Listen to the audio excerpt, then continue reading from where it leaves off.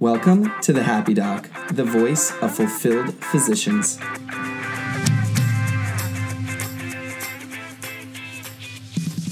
This show is about bringing inspirational, creative, successful, and happy health professionals to you. Get ready to learn how you can be a happy doctor too. Hello, everyone. I hope you're having a beautiful week. And uh, one quick tip to hacking the mind and thinking more positively, and you guys, I'm sure, have heard it, is to be thankful. So, as you're listening to this, maybe give this episode a pause. I want you to think of a list of five things that you are absolutely thankful for. Um, you'll notice that just thinking about something that you're thankful for will really uplift you. And if you do this on a consistent basis, you'll notice the uh, positivity that you start to think about as opposed to the negative aspects of your life. It's a great mind hack, um, and I hope you guys implement this on a daily basis. The other thing I wanted to say is huge shout out to the people that are leaving five star reviews on iTunes. That is super helpful. And if you go onto iTunes and you sh- search the Happy Doc, you'll be able to leave that. Um, it's a great way for people to see that you know we're doing great things here. In terms of the five star reviews, we have one latest one that says from My Name is Doc, and it's titled Breath of Fresh Air. What wonderful podcasts you have on this channel. I heard one today and I was so uplifted. You can't imagine how much I am looking forward to listening to the rest that are now available and the rest to come in the future. Uh, thank you so much. My name is Doc. Um, really appreciate the five star review. Now, for our next guest, Dr. Alex King. He's a recent graduate from medical school, such as myself, and um, it's great to learn about the field he's going to go into osteopathic manipulative medicine. I'm a huge fan of osteopathy, and for listeners who aren't familiar, you'll get to learn about what that is and how he combines his passion of art with his work in osteopathic medicine. It's a really interesting conversation. We get into you know how he combines those two aspects. We talk about mindfulness meditation, uh, meditation in general, and how it's positively impacted his life. So we hope that you really enjoy this episode. Uh, take a listen, and if you get something out of it, please share on Twitter, Facebook, Instagram, and word of mouth. We really appreciate it. If you want to learn more about our guest, Alex King, check out his website, jaewonking.com. That's J A E W O N G.com. And you'll see a lot of his great artwork and blog posts. We hope you enjoy the episode.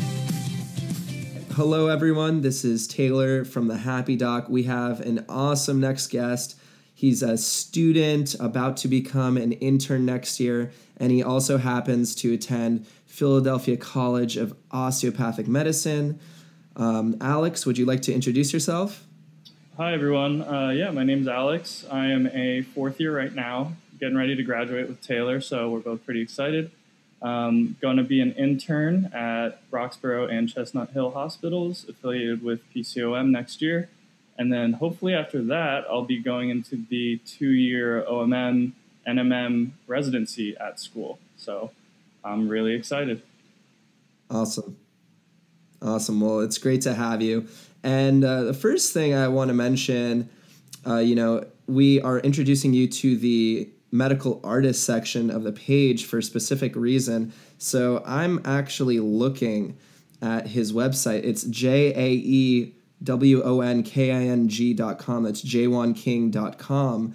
And it's just a compilation of all of the amazing art you do. And so, how long have you been doing art for? So, I really started, you know, in preschool drawing pictures, you know, kind of typical crayon on construction paper type deal. But uh, my mom actually saw that I loved to draw so much, and being the child psychiatrist she is, kind of spurred me on and gave me more and more things to do in terms of art and enrolled me in private classes when I was in grade school. So it kind of all evolved from that, and then going in in high school to taking art courses, and yeah, pretty much starting back then. That's great. Um, and you know, I'm I'm looking at some of these pieces right now, and uh, guys, you should really check out you know some of this work. The colors are amazing. Um, there's so many different like textures, and uh, it's it's pretty abstract. So, how would you describe the art that you do? Yeah, I would say, you know, it really, I identify it as uh, abstract expressionism, although that is uh, kind of like a pretty often used term. I think that fits it quite well. Uh, what I really try and do is is not inhibit my um, subconscious in terms of what I want to express or what forms I'm drawing. I just kind of let it come out without any filter. So yeah, I'd say that's kind of how I, I'd identify that. That's great. Yeah. So uh, awesome artwork. Uh, it's great to have you again.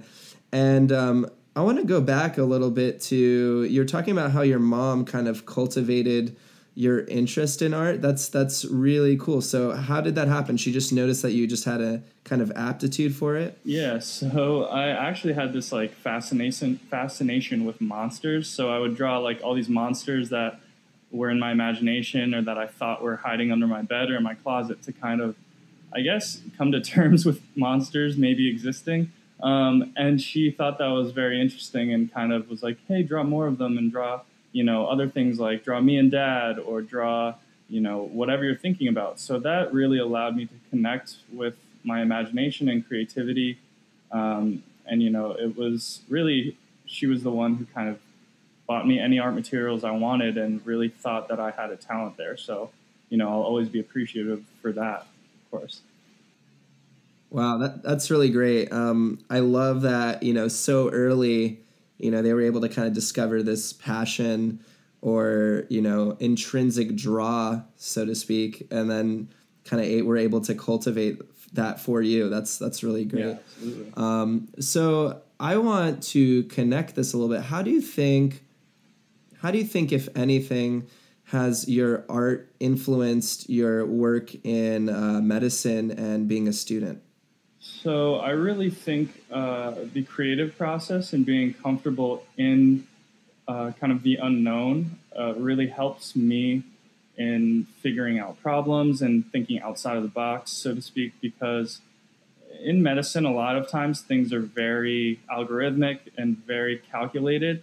Um, and that, you know, I'm comfortable comfortable with that, of course, but I'm also very comfortable in exploring what's not being seen or or what is not yet discovered. So that is kind of the exciting realm for me.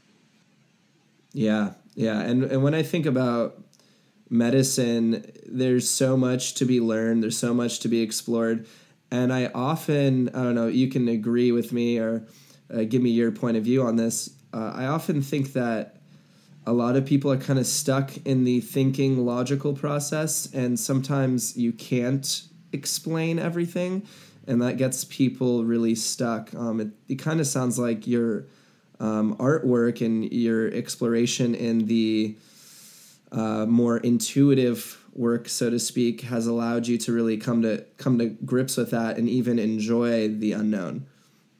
Yeah, I definitely agree. And uh, what's just exciting for me is exploring my own actual manual skill in terms of what I'll be going into in OMM.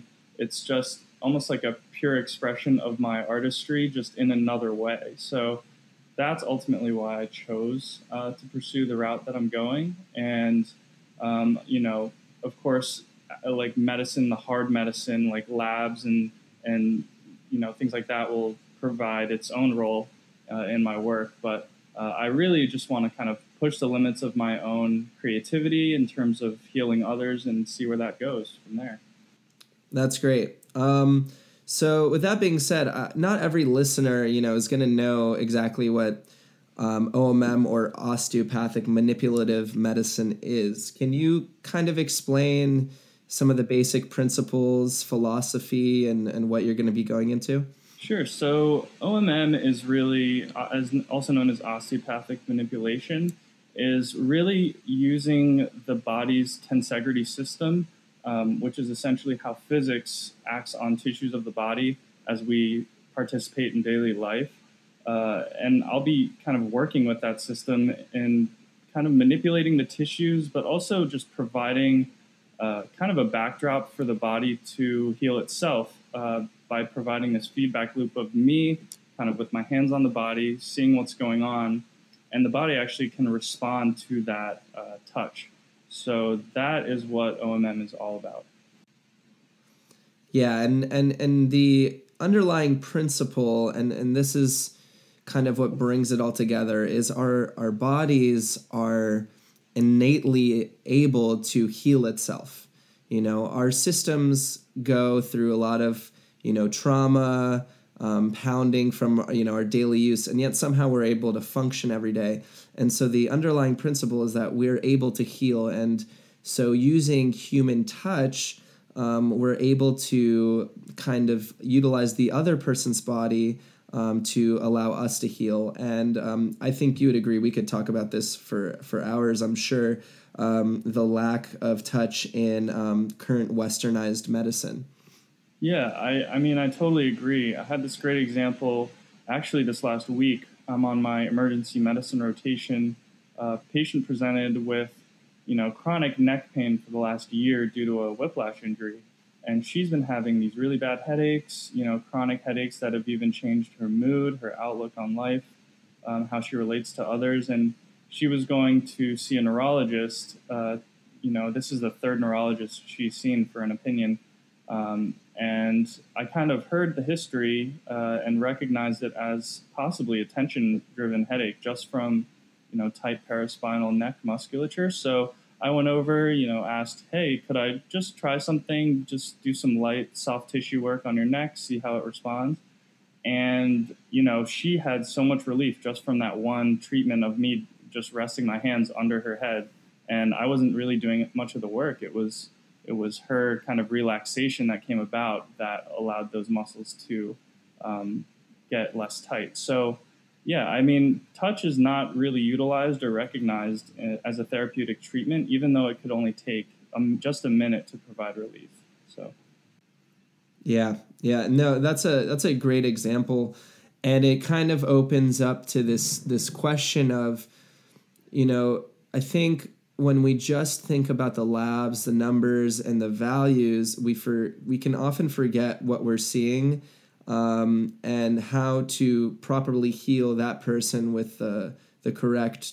Not saying that there's there's a correct treatment, but there's multiple ways, and this is just another way of healing. Specifically, you know, OMT or osteopathic manipulative treatment um, gives you the tools with your hands to deal with something, for example, like headaches.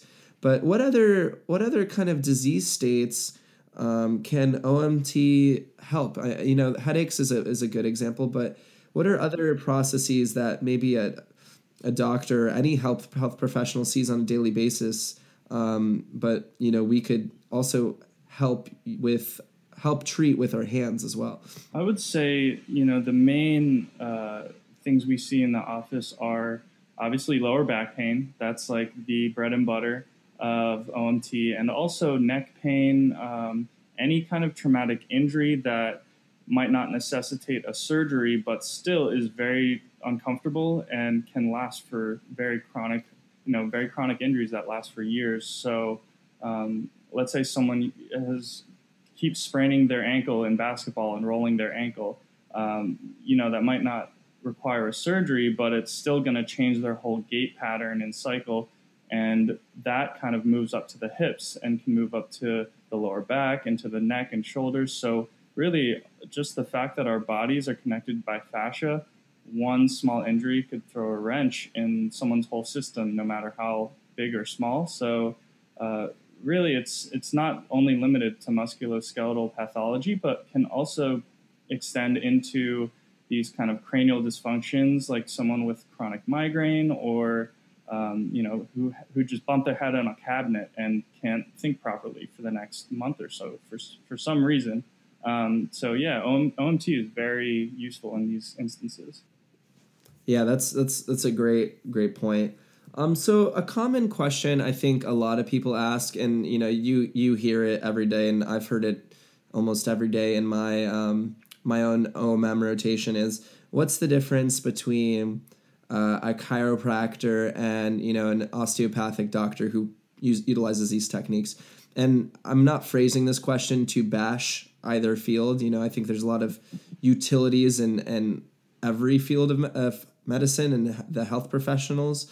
Um, but so so what's kind of like the common differences? What are we learning that's that's different? That's a great question. I get this you know question probably most of of any question. Um, so chiropractic medicine, I've actually been treated by a chiropractor, and you know a lot of them do very very great work. Uh, so their modality of treatment tends to be a high velocity, low amplitude approach, which is one of the techniques we learn as DOs as well.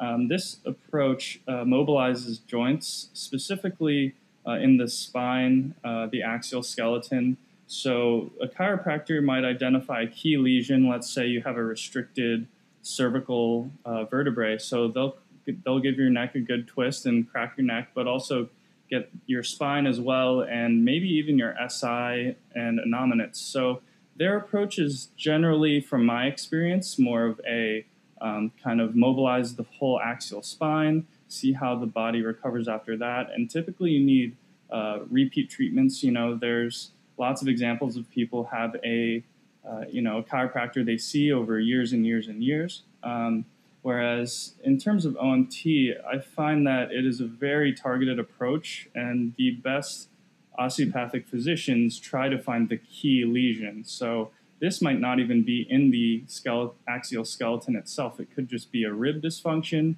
that's throwing everything off.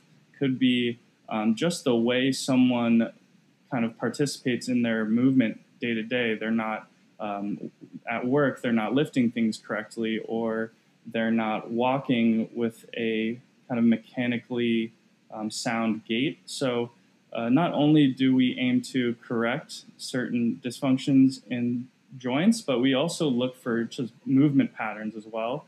Um, and we also mobilize fascia. We're essentially doctors of fascia, right? Because this is what connects everything in the body muscles to bone to ligaments, everything. So we try and find those restrictions, not just the ones in specific joints. Awesome. And, you know, I'm listening to this, and obviously I've been trained in this field. So I just want listeners to have, you know, some definitions. So, for example, the axial skeleton he was talking about is more of the central spine, whereas appendicular would be talking about the bones coming off of the axial skeleton, like the arms and the legs. So, that's like some definitions there. He's talking about the key lesion, and that's essentially talking about a an osteopathic doctor will survey the body and try to find out the point in which most of the trauma or the pain or uh, that's probably the best way to describe it is coming from. And when you treat that lesion or area then the you know the main issues can resolve. So it's a more like you said a focused approach. And um, it's it's just a really great field. And the one thing i love about you know DO school is we get exposed to another way of treating besides just using medication. So it really opens up the doors for a lot of you know great ways and modalities to to treat others. Um, so to spin off of that, um, what what do you think? You know, I think often that the greater the greater world of medicine and also specifically patients and clients, they're not even exposed to this this world. So what what are hmm, how should I describe this? what what is something special about a DO doctor that people don't really understand? You know, the the differences between an MD and a DO and what can an osteopath allow for someone's treatment? So, um, in my opinion, the main thing that really separates us um, is our pretty much required practice in touching human tissue. So we have labs that we go to every week as DOs that we need to treat our fellow students and learn these techniques to um, affect the tissues of the body. Uh, lots of MDs might have this interest. However, their curriculum does not require actual labs where you're in there feeling someone else's, you know, spine, seeing if there's any um, abnormality. So we have you know hours and hours and hours of this training to evaluate and treat um, dysfunctions in you know just basic human anatomy. So for me, uh, that is the main difference. And after whether you like it or not, after doing these labs, you do get a sense of um, how healthy tissue feels. So when you're in the wards or in the hospital feeling unhealthy areas, you can recognize that as an osteopathic doctor, whereas someone without that training might not necessarily realize um, that difference. Sure, and and I can speak to this a little bit. You know, there's something about the learning experience of touching lots of people that it's almost like your your hands your hands just know and it's not a cognitive thing it's it's an experiential learning. So you know the the hours and hours of lab work and you know the clinical rotations we go on um, do train our hands to feel things that maybe um, less trained hands would not feel. Do you agree with that? Yeah i absolutely agree. And it can almost be somewhat of a subconscious uh, learning experience, whereas there's no conscious way to be like, this is healthy um, because my fingers are moving, you know, a centimeter less downwards than tissue that's un- it's not really like that. It's all of this experiential um, kind of maneuvering that we do day to day based on our labs. It's like, all right, this person's health feels a little different than this other person's healthy tissue but I can recognize that they're both moving in a way that expresses that health. So it's very ethereal, kind of very esoteric, but at the same time, you do get this experience, especially when you start working with sick patients. You can almost feel like specific types of dysfunctions and diseases. Like there's a definite feel to a CHF leg, or you know, someone who's got chronic diabetic neuropathy and you know there's there's signs and things you can definitely get a sense of sure sure. And and this is kind of the beautiful tie-in with your artwork you know? So how how do you link up you know OMM and these types of treatments that you're going to go into and and art? Um, so I think the major link is that creativity and comfortable uh, feeling with the unknown. So when someone comes in with a certain pain, let's say they have back pain, um, the thing about that is their dysfunction or their key area that needs to be treated might not even be in their back. It could be a dysfunction in their shoulder or in their neck or something that isn't even painful. So um, to be comfortable in the arts is, I think, very key in at least my specialty uh, because you really have to look for areas that are you know outside of the box and are not necessarily the same for every person. So literally, we're all built differently. We all um, function differently in the world, and you have to kind of respect that in terms of when you're looking for the reason of someone's discomfort. Um, you know, someone who has back pain who comes in, I'm going to look at their whole body. I'm not just going to focus on, oh, maybe they need to just get a lower back, like x ray or something like that. Uh, I want to feel the tissues in their feet, see uh, what shoes they're wearing. I want to know what job they have, what their hobbies are. I really am looking at um, everything that makes a person, you know, a person. So I just want to know um, all of these things and then come up with a creative solution to what I think the problem is. And I really think that um, when doing my art and letting my subconscious flow through unimpeded, I think that helps me in the creative process of thinking, well, why does this person come in with such an atypical presentation? Um, so I think that uh, that kind of process really helps uh, helps me when I treat other people.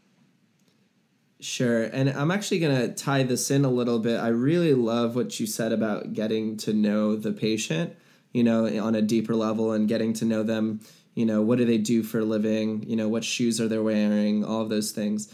Um, I had a discussion with another osteopathic um, physician, and we were talking about someone's, you know, physical um, issues that were going on. And we actually thought the key lesion or the area that this person actually needed to work on in order to open up her body was some of her emotional anxieties and stressors. So it's kind of in an osteopathic way, or in terms of the principles, healing the person doesn't actually always mean doing the physical touch. The the true healing and what's holding them back might be um, an environmental factor or an emotional factor.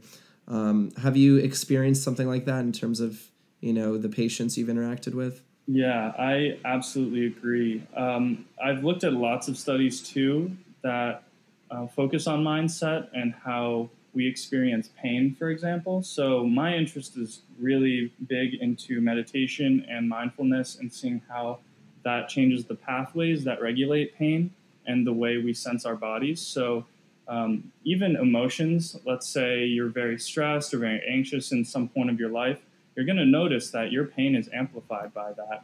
Um, just as a side effect of your sympathetics being, you know, hyperstimulated. Um, I can even feel this in many patients that I've treated. So I found areas of restriction to be the diaphragm, like very big in the diaphragm with emotional stress, as well as the neck musculature. So someone with these areas of restriction, they don't even have to tell me. I can feel their diaphragm or these specific areas and be like, "So how's how's your life going? Like, are you going through anything uh, tough times, or um, you know, tell me about what's going on." So oftentimes that can unlock a whole new area to delve into in terms of helping our patients and seeing how we can help them through these tough times. Sure, sure. Yeah, and it, it's interesting, right? So you you have a physical diagnosis that makes you think maybe they're having some emotional um, issues or stressors, and then you can talk about those emotional stressors, and it almost like relieves some of that stress, and then you might find a new area of physical restriction. So a lot of the time, I, I hear this almost described as unraveling um, have Have you heard that term from from other yeah, doctors? Yeah, definitely.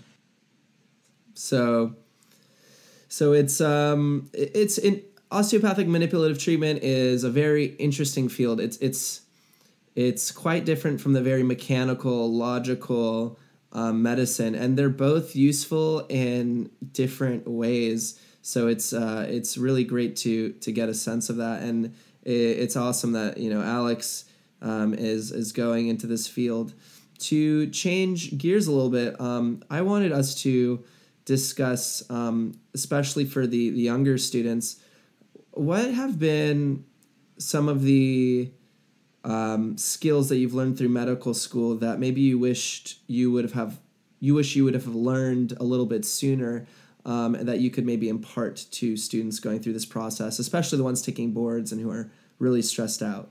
Yeah, so I think that one of the main things uh, people under stress should focus on are um, finding comfort in physical exertion of the body. Uh, this is just a crucial part of who humans are in terms of evolution, in terms of how our nervous system and autonomics work. Uh, we need some kind of exertion in our day in order to maintain a healthy state of mind, whether that for you is running, biking, lifting weights, swimming, you know, anything that requires some kind of physicality because that's just kind of how we evolved is we evolved as people who um, you know worked a lot outside you know made sure to get enough sunlight things like that um, said a lot you know and it makes a lot of sense but it's true at least i've found it to be be true. Um, but not only is our physical well being important, but also in terms of our mental well being, um, I've always been a huge proponent of mindfulness and meditation, whether it is five minutes a day or an hour a day or just however much time you wish to devote in your practice. Uh, it's it's such a simple way to make a huge impact in just how we maintain our mental health and be happier as people uh, I, I really recommend, I'm not paid by this app or anything, but I've used Headspace um, and thought it was a great way to kind of start your journey. Um, but now I've got my own practice and try and you know use my own techniques. But that's a great way to start. Um, there's a bunch of other apps out there, but I think finding your own way to physically exert and recover, and then mentally explore your inner consciousness and the way you think um, this great quote I, I, often think about is uh, if you want to know how your mind works, just sit back and observe it. You know, it's not not a very complicated thing. So I would say those two are my biggest recommendations for new med students or people just in general who are feeling the effects of stress. Great, great. Yeah. So in in summary, you know, exercise and meditation has been pretty key for you. And and I can definitely chime in and say that those those two things have been very helpful in my own life. What effects, you know, what effects have you noticed in your own life uh, as soon as you kind of started your meditation journey? So the major thing uh, I found in my life is enjoying being alive in the present moment. That is a huge thing where you know something could always comes up. It's almost inevitable that you're stuck in traffic or something doesn't go the way you would have liked.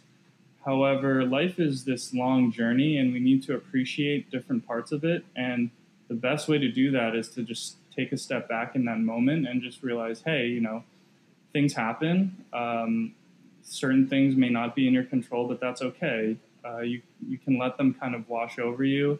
Um, enjoy even the discomfort of that moment because you know uh, that you'll rebound from it and you'll be better for it. So I think that is the biggest thing, and also just um, you know not sweating the small small stuff. Like if I'm stuck in traffic, uh, yeah, traffic sucks, um, but you know we all kind of have to deal with it and it'll go away. It's not going to be like your life is stuck in traffic forever. So I feel like appreciating the the moments in life where um, there is that kind of internal struggle. It's an opportunity to also become better. So I think that is the main thing I've found through meditation, and also it helps in every other aspect. Just maintaining that clarity, that focus, that willingness to see the light side and be optimistic. Uh, I think is what has changed for me. Sure, sure. So it's really ultimately provided you um, a sense of resilience in in all situations, and in in some cases, you're almost appreciate the difficult times because it allows you to grow as a as a human. That's that's really great, and that um, kind of ties in with the a sense of positive, the positive mindset that a lot of you know happier um, people show and and exemplify in their lives is is like what you talked about. You you perceive difficulties as challenges um, and struggles to improve upon, rather than necessarily thinking that it's a terrible um, thing that's happened in your life. So definitely great uh, to hear that and. Uh, meditation is is a fantastic way to find calm in the storm. So, um, also, one thing that uh, I think would be great for you to provide do you have any resources, books, websites, uh, people you follow um, that you think have been very impactful in your life and have allowed you to find you know peace, greater happiness, and knowledge um, that you might impart to others? And also, um, if someone's interested in OMT, maybe even if they're you know, an MD um, or an other health health professionals, how might they explore the field and learn more um, about how they might be a part of it? Sure. So um, I've got a couple book recommendations. Um, my first one would be The Mind Illuminated. I, I forget who's the author right now, but it is a great way to at least read and gain a better understanding of how to start one's meditation journey and just to kind of see what mindfulness is. Um, I got that off Amazon and have really enjoyed following along with that. Um, also, the I believe it's called the Surrender Experiment, um, but that is another book of just a story of how just surrendering to what life has in store for you can actually provide um, a more kind of happy journey throughout life. Um, that is another one I really like to read.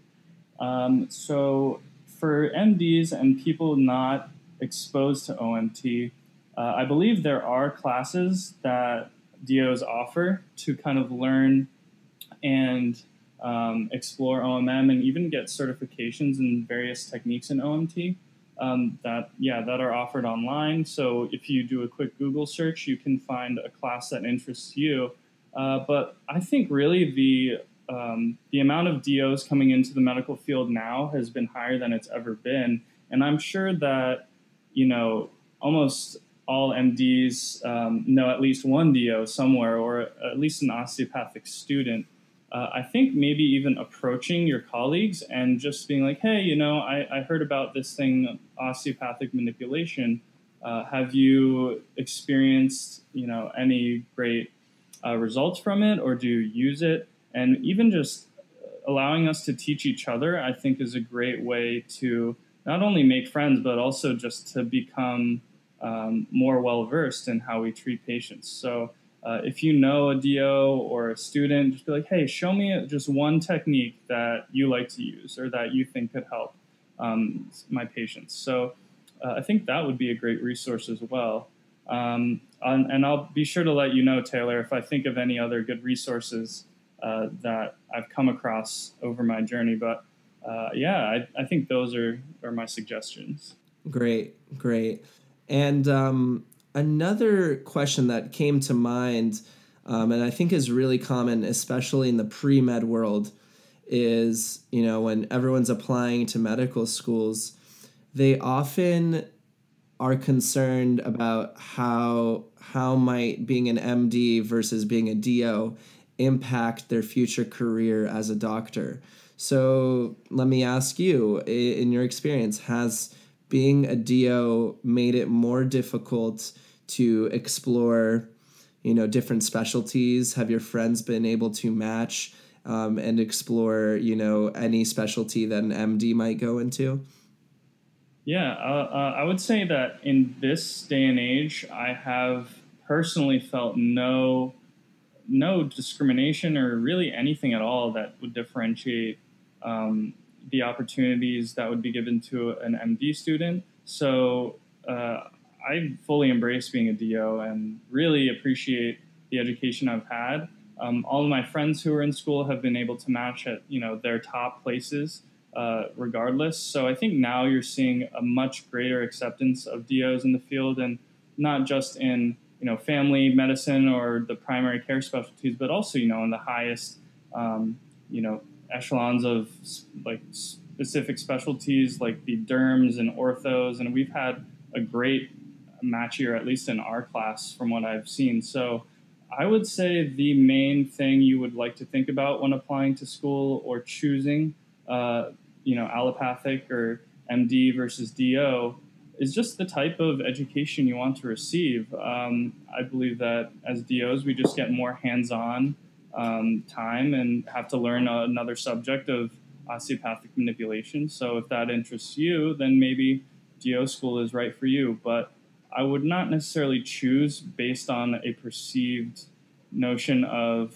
you know, it's easier to get into places as an MD or, um, you know, in some in some places that might be the case, but do you really want to be associated with people who discriminate just based on a degree? Like, I don't know if I would. So um, I would say that choose based on your passion. That's always what I think is the most fulfilling option and the most true to yourself. Um, you know, based on what you think you want to contribute to the world, that is the path that you should go.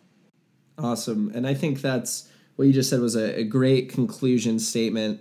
Is is to follow what feels right for you and choose your passion. And that also really also falls in line very well with you know the artwork that you're doing. Um, you know you, you didn't just choose art in terms of you know your creative work but you kind of chose art in your vocation and career as well.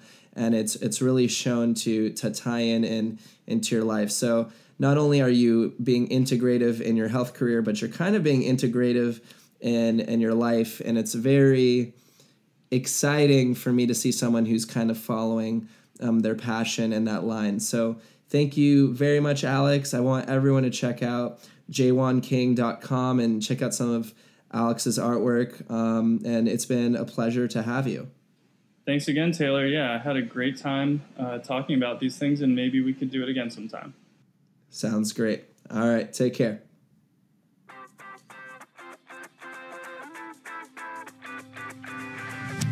Hey guys, we hope you enjoyed this episode and we want you to definitely subscribe to our social media channels.